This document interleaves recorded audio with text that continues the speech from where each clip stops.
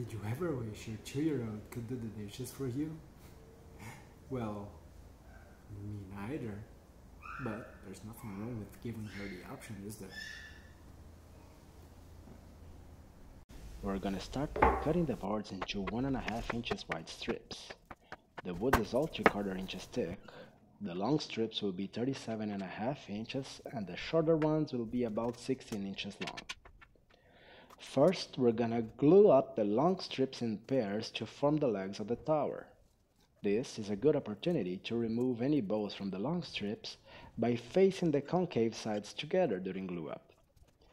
I'm also using this level as a straight reference to clamp into.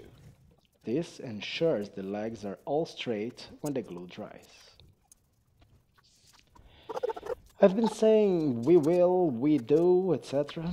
And I think this would be a good time for me to introduce the rest of the crew. This is Whiskey. He's the head of security, and it doesn't hurt that he's easy on the eyes to keep me company as well. When the legs dry, we take it to the table saw to remove any glue squeeze out. We could do it with a chisel, but this is much easier. And we could do it with a planer as well, but that would require having access to a planer, so table saw it is. We then proceed to cut the joinery that will connect the legs together. We're gonna half lap the short strips connecting the four legs on three of the four sides. One side will remain open so that the tower has an access point. Maybe this all sounds a little too abstract at the moment, but it should make more sense as the build progresses. So hang on, you'll see, we'll get there. Here I'm just cleaning up the top joint with a chisel, cause I'm that fancy.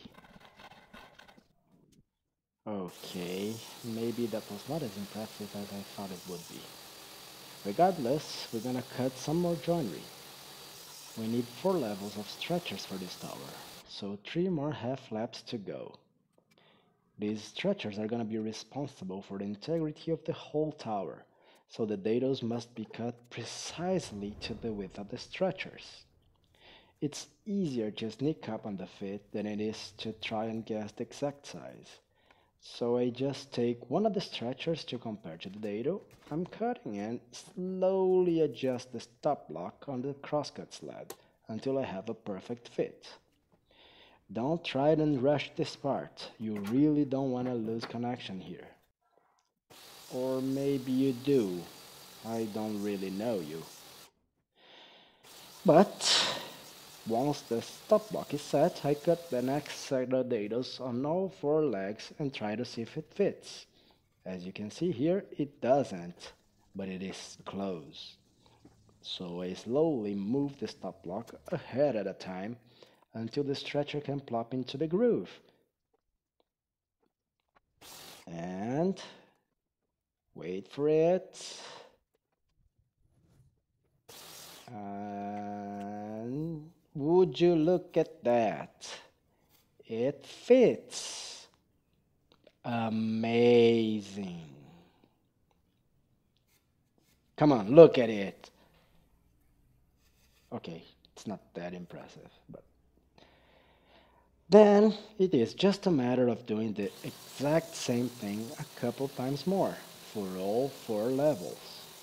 Two of the legs will get the groove in two directions leaving only a quarter of the material behind.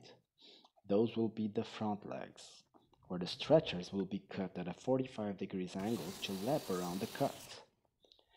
The back legs will need just a simple half lap. You can see there, only a quarter of the material is left. Then it's time to put the pieces where they belong. We'll put the stretchers inside each groove to test fit. They're a little tight, so I just CA glue some 120 grit sandpaper to a piece of scrap wood and smooth the surfaces on both the stretcher and the groove. That will prevent splitting the corners of the joinery once we go for final assembly. This process will only take a couple minutes for the whole build, but it makes everything fit snugly. Once we find the fit we like, I grab my high-tech dust removing gadget to keep the workspace comfortable. You wouldn't believe how many times I had to record that sentence because I wanted to say workplace or workspace or workspace. But regardless, remember to label each slot and stretcher so you remember where every strip goes later. Then it's just a matter of repeating the process for every leg and every slot and prep for a glue up.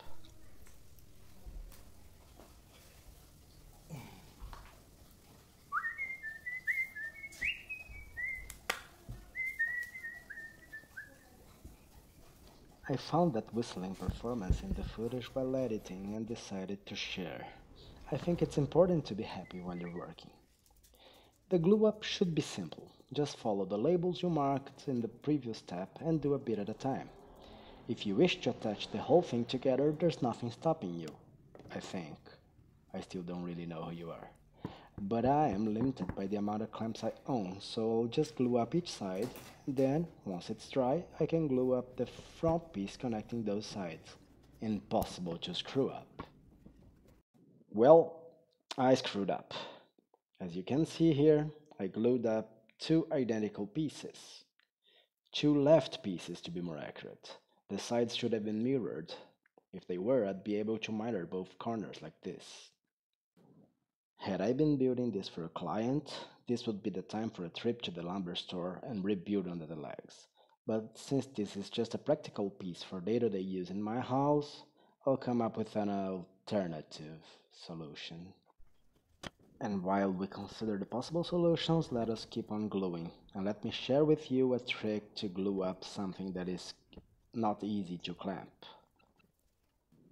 Oh, look!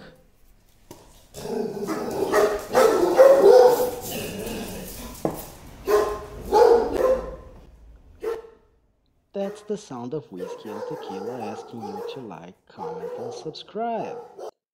This is tequila, by the way well, the rear end of it. As for the trick, most of you probably know it, but I learned everything from YouTube, and if I can help at least one person, it will have been worth it. Oh, that's Tequila in her full glory, by the way. She is the head of human resources here. The trick is just to put a drop of CA glue with the regular wood glue when joining. The CA glue is not very strong, but it should keep the surface steady while the actual strength comes from the slower drying wood glue. The CA glue basically acts as a makeshift clamp. And since this was a place that was hard to get an actual clamp, it should do the trick. Time to fix the mistake, we're gonna use some pocket hole screws. I just squared up the end of one of the sides of the structure and added holes to them.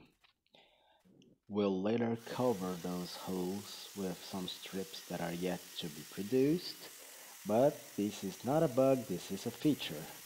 So it's time to sand the strips. These are gonna make the step, the actual platform, and now the strips to cover the pocket holes. And then it's time to sand. We sand each and every one of the strips. This can take some time, but we gotta do it. Sanding is not optional. But it ends. And then it's time to paint. If you want. I know not everybody likes to use paint in their projects. But I chose this dark green color for the step and the platform and I really like the result. I actually used the whole can for this.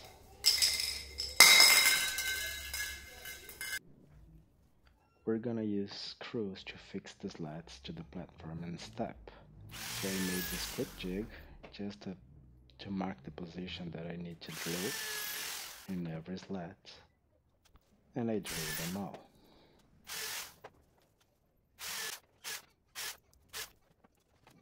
Then all that's left is to put on some finish. I used three coats of boiled linseed oil. And this is the final result. The purpose of the tower is to grant access to kids to places they wouldn't usually reach, like the sink or the countertop or table. My daughter likes to use it to have dinner with us at the same table we do. The child just steps in through that step on the right and stands on the tower. Here in front you can see the slats that I used to cover the pocket holes and this is the final result.